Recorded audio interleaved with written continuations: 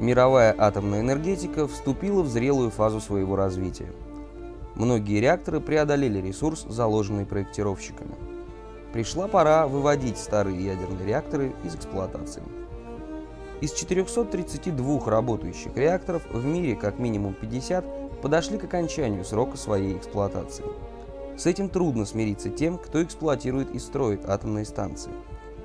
Слишком дорогой и долгий процесс строительства, а вывод из эксплуатации занимает десятки лет и также требует гигантских затрат. Но в ближайшие годы вывод из эксплуатации атомных станций становится все более актуальным. И сколько бы ни отодвигали срок их закрытия, это все равно придется сделать. А поскольку это связано с целым рядом социальных, экономических и технических проблем, в интересах мирового сообщества сделать так, чтобы процесс вывода из эксплуатации отработавших реакторов планировался заранее и был прозрачным для всех. Проектный срок эксплуатации атомных реакторов – не единственный фактор, влияющий на принятие решения об их закрытии. Чернобыльская катастрофа опровергла миф об абсолютной безопасности мирного атома. Многие страны поспешили свернуть развитие атомной энергетики, другие решили совсем отказаться от нее. Снятие реакторов с эксплуатации представляет собой целый комплекс сложных проблем. Одна из самых сложных – социальная проблема. Остановка реактора прекращает производство энергии, а работники станции теряют работу.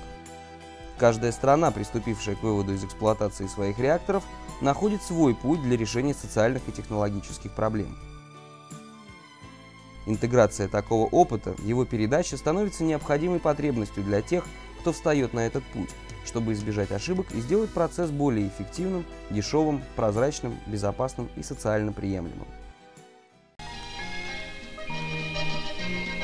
Ровесник Берлина и Дрездена, Грайфсвальд, почти семь веков оставался в стороне от многих событий истории.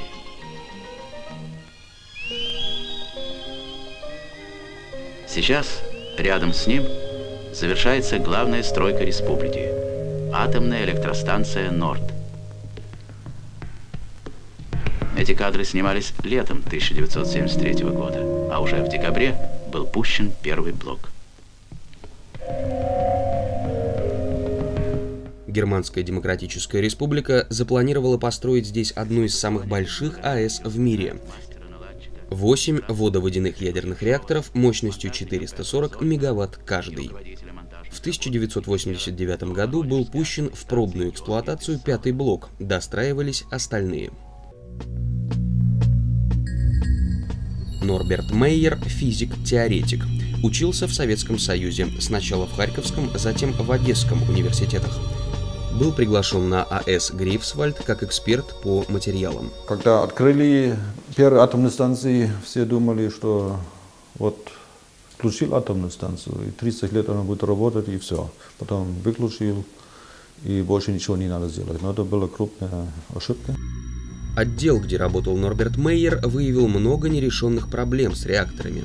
Самая крупная проблема была э, нейтронное охрупчивание корпусов реакторов – который дает опасность срыва реактора, корпуса реактора, когда есть аварийная ситуация, когда подпиточными системами э, вкачивают первый конты холодную воду. Это всегда э, тяжело, если возникают большие градиенты температур в этих корпусах. Они довольно вязкие, то есть в обычном состоянии его ничего не делают, но они с другой стороны из-за нейтронного потока они хрупчиваются, то есть они с некоторой температуры станут хрупкие, как стекло. Если у них 300 градусов воды, влить холодную воду 20 градусов, это крупнейшее напряжение начинается и грозила опасность, что они просто весь корпус разрывается. Такой э, случай был бы то же самое, что в Чернобыле. Особенно опасными Норберт считает реакторы ВВР-1000. Материал для ВВР-1000 вообще это э, такие материалы э, на Западе и в Европе нигде не пустили бы в обход. Э, там крупное обрубшивание идет. Это опасность этих типов реакторов ВВР состоит для всех русских. Отдел, в котором работал Норберт, был строго засекречен. Отчеты, которые он выполнял, отправлялись только в министерство, о них не знали даже сотрудники станции. Себастьян Пфлугбейл работал в Академии наук Восточной Германии и проявлял интерес к вопросам атомной энергии и ядерного оружия. One main problem was the, was the question of material of the um, reactor pressure vessel. And the Russian colleagues have not, was not able or not willing to, to give data about that. And there was nearly no information about that. Плохое состояние блоков 1.4 уже давно было известно ведомственным органам ГДР. Оснащение АЭС системами безопасности и работоспособность и надежность существующих систем ниже, чем у АЭС капиталистических стран того же возраста. Те сотрудники, которые работали на АЭС, они сами думали, что это очень хорошая русская техника, она много выдержит и никаких проблем, и с ними можно энергию. И так, это была общая идеология. То есть они просто не знали о том, чем я каждый день и мои сотрудники занимаются. У первого-четвертого блоков АЭС Грейфсвальд существуют значительные недостатки в установленных системах техники безопасности, поэтому дальнейшая безопасная эксплуатация, исключающая тяжелые аварии, просто невозможна. После несколько времени и третий блок дал тот же самый результат, что нельзя, нельзя было бы его дальше, больше э, эксплуатировать. Но тогда были планы социалистические, дать производство, то есть, э, несмотря на эту опасность, даже вырабатывали электроэнергию. Я стал требовать все громче и громче, чтобы это не допустить. Опасность катастрофического отказа корпуса реактора неустранима путем переоборудования или технической модификации. Через некоторое время Норберт Мейер услышал по телевидению о том, что реакторы АЭС Грейфсвальд самые безопасные. Позвонил туда, в ту телевизионную компанию АРД, это первая программа немецкая, и сказал, что я так это не вижу. И, и обещал им дать интервью, что в самом деле тут э, какое состояние этих блоков это я дал. После это, конечно, крупные, э, ну, никто в восторге не были, все, так сказать, э, ругали. И особенно сильно была реакция, реакция сотрудников АЭС, которые меня приняли с тех пор как враг.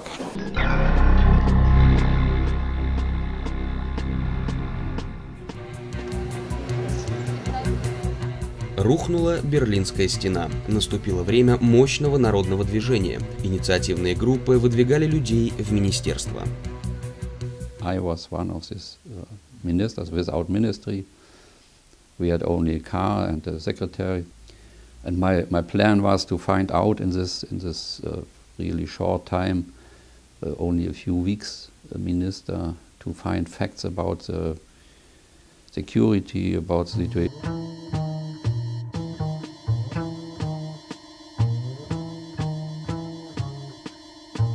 Found in the, in the archives of the Minister Council from East Germany a lot of expertise that was never published. Uh, we, we could show that the government was informed, very, very good informed about the problems, and the experts in GDR, the nuclear experts, was uh, help for closing down the nuclear power plants in, in a few months later. Первые энергоблоки АЭС Грейфсвальд были остановлены в последние недели существования ГДР. Позднее три недостроенных реактора были предложены на продажу частным компаниям. Company Siemens to use the nuclear power plants in Greifswald to show that they are able to um, um, to make this this type of Russian reactors too, too good safe, like. Окончательное решение о закрытии станции было принято уже западногерманским министерством окружающей среды в 1990 году. Закрытие станции проходило в сложной общественно-политической ситуации. Только что произошло объединение Германии. В Восточной Германии производство почти остановилось, так как не могло конкурировать с западногерманскими производителями. Росла безработица.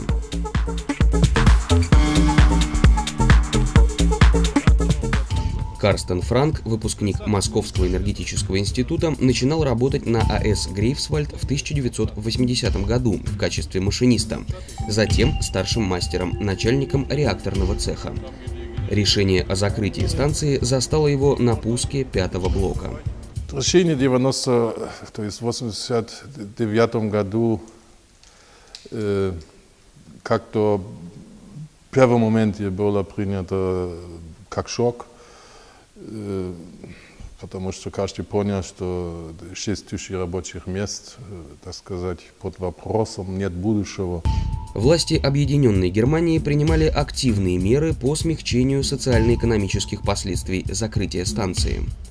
В структуру АЭС Грейфсвальд входило много вспомогательных подразделений, начиная от ремонтных цехов и заканчивая столовой.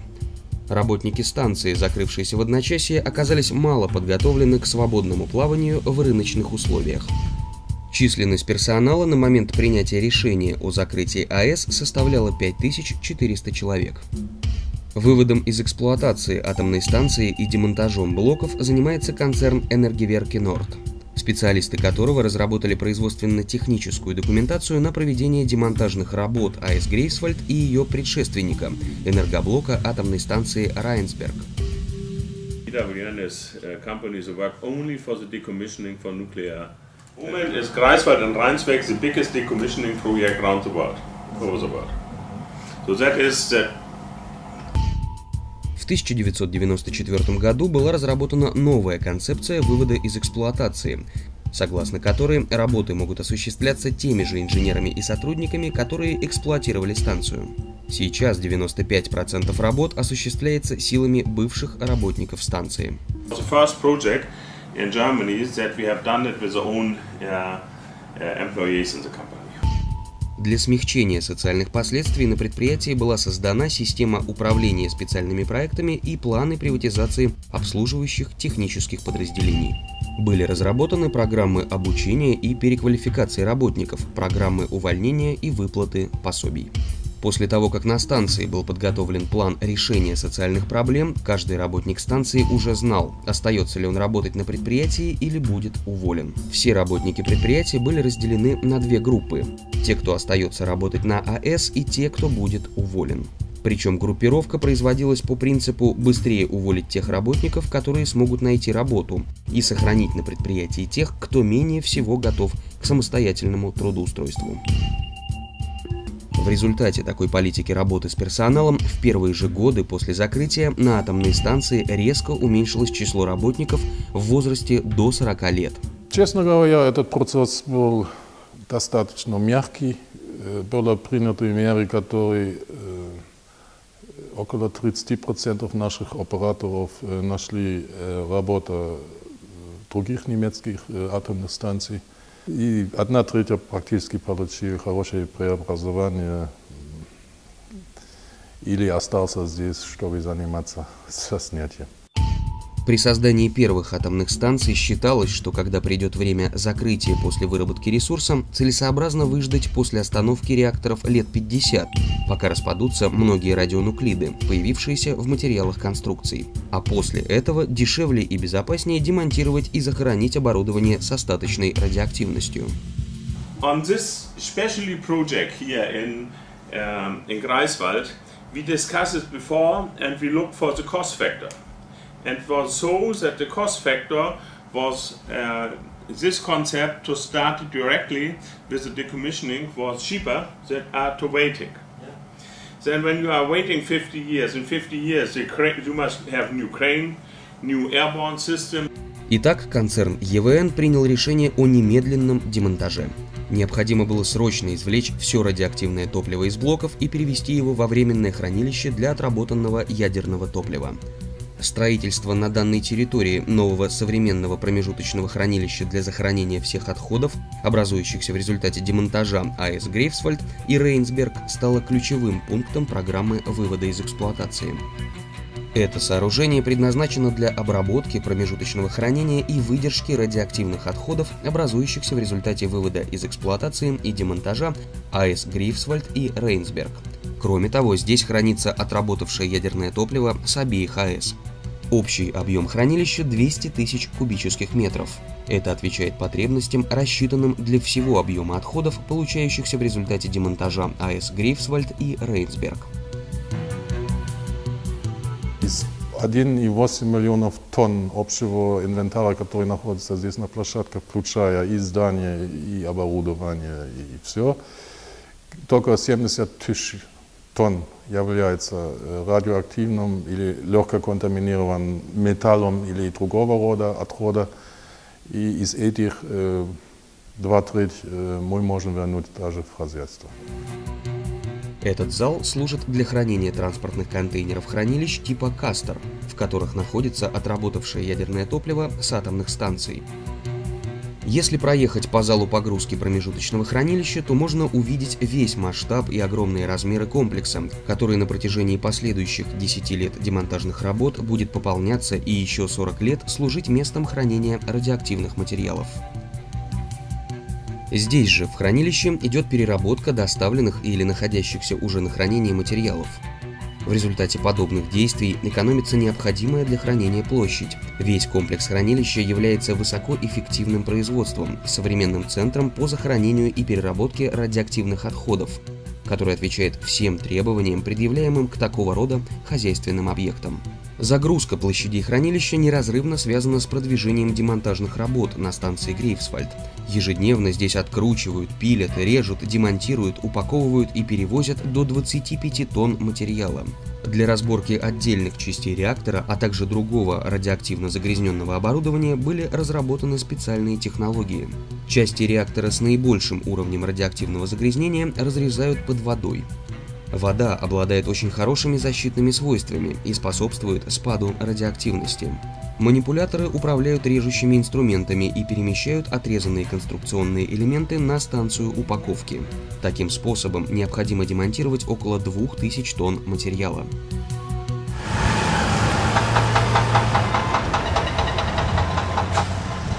I think that is the first time that we have done it in Europe, that we make a mix between the decommissioning and the project for the future. Здесь был когда-то турбинный зал, 1 километр длиной. После удаления его оборудования планируется создать новое производство компонентов для судостроения – сварочные цеха. Уже в феврале следующего года новый завод начнет работу. На территории бывшей атомной станции также планируется построить газовую и угольную электростанции. Создан изначально идея технопарка – но до сегодняшнего дня эта идея по объему гораздо увеличивалась. Уже строится сейчас э, завод по производству биотоплива, который у нас на Западе довольно дорого стоит. Одновременно с демонтажом станции шла перестройка сбросного канала в современный промышленный порт. В 2003 году, в день торжественного открытия порта, шхуна Брик Грайв стала первым кораблем, вошедшим в новый порт. Сегодня промышленный порт стал реальностью. После 12 лет я могу действительно э, утвердить, утверждать, что это не является конец света, потому что помимо э, прямой снятия создаются э, хорошие моменты, где можно и создать возможности для будущей эксплуатации другой или промышленности. После окончания демонтажных работ эта территория также будет развиваться как промышленный и энергетический центр и будет играть важную роль в экономике земли Макленбург-Северная Померания, но уже без атомной станции. So we are this, we are informed, so all the people, we have each uh, year uh, one or two meetings with a, a local uh, countries. We have different meetings. Совет был создан в 1991 году при Министерстве окружающей среды земли Мекленбург-Северная Померания. И в этот совет входят представители всех партий, представители NGOs и другие интересующие. Я где-то вот, по-моему, 6 лет уже являюсь председателем такого этого совета, и поэтому я считаю, что это Хорошо, что есть такой совет, который э, открыто работает, о всех проблемах знает, эти проблемы публикуют к своим партиям, своим организациям, прессу, если это необходимо. После 12 лет работ на АЭС Грейвсвальд был приобретен очень важный и уникальный технологический и социальный опыт решения проблем по выводу из эксплуатации атомных реакторов. И этот опыт может быть востребован не только в Германии. Сегодня компания ЕВН участвует в совместном немецко-российском проекте по захоронению 120 атомных подводных лодок на севере России.